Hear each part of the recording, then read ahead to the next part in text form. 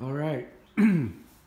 so Wednesday morning, I'm uh, doing what I call the harvest. That's where I take all the rims from down there and put them up on a higher drying rack. And so far, this is what I've got. I have to back up to get it all in there from last week. Uh, ooh, that's a have to back up ways there. That's what I got from last week. And I'm still un- uncrating things. It's a process you got to go through. But that's today's journey and to finish gluing up more rims there. Try to get eight done this week. Y'all have a good day. Later.